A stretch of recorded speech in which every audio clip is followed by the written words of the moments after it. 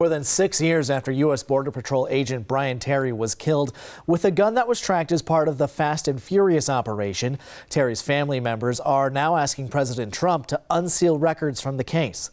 One of Terry's cousins testified before the House Oversight Committee this week, asking for clarity with the records.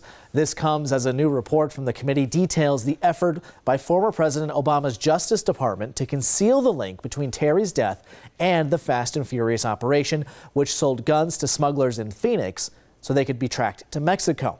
However, authorities lost track of more than 1,400 of those weapons.